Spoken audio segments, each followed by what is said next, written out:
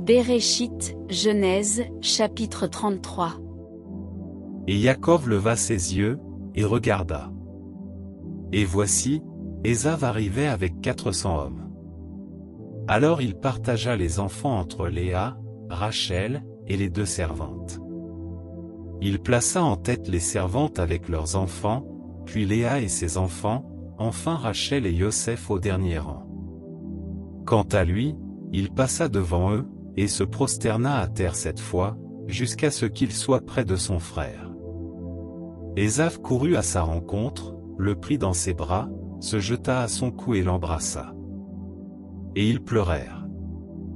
Ésav leva ses yeux, vit les femmes et les enfants, et dit, Qui sont ceux-là? Sont-ils à toi? Il lui dit, Ce sont les enfants qu'Élohim, par sa grâce, a donnés à ton serviteur. Les servantes s'approchèrent, elles, et leurs enfants, et se prosternèrent. Puis Léa aussi s'approcha avec ses enfants, et ils se prosternèrent, et ensuite Yosef et Rachel s'approchèrent et se prosternèrent aussi. Ésav dit, Que veux-tu faire avec tout ce camp que j'ai rencontré? Et Yaakov dit, C'est pour trouver grâce aux yeux de mon Seigneur. Ésav dit, Je suis dans l'abondance, mon frère garde ce qui est à toi. Et Yaakov dit, Non, s'il te plaît, si j'ai trouvé grâce à tes yeux, reçois s'il te plaît ce présent de ma main.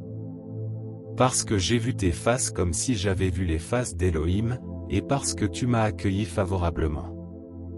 Accepte, s'il te plaît, mon présent qui t'a été offert, car Elohim m'a comblé de grâce, et je ne manque de rien. Il le pressa tellement qu'il le prit. Il dit, Partons et marchons, et je marcherai devant toi. Mais il lui dit, Mon Seigneur sait que ses enfants sont jeunes, et que j'ai des brebis et des vaches, qui allaitent. Si l'on forçait leur marche un seul jour, tout le troupeau mourra.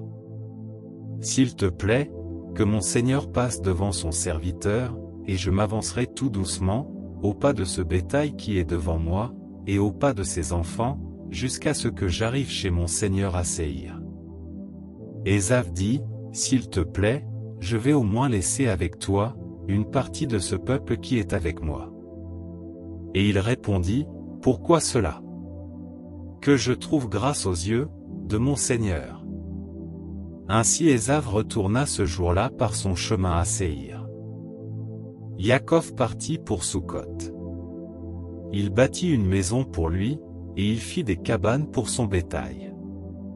C'est pourquoi, il appela ce lieu du nom de Sukkot. À son retour de Padan Aram, Yaakov arriva à Shalem, ville de Shechem, en terre de Canaan, et il campa devant la ville. Il acheta une portion du champ, où il avait dressé sa tente de la main des fils de Hamor, père de Shechem, pour cent pièces d'argent. Et là, il dressa un autel qu'il appela El Eloé, Israël.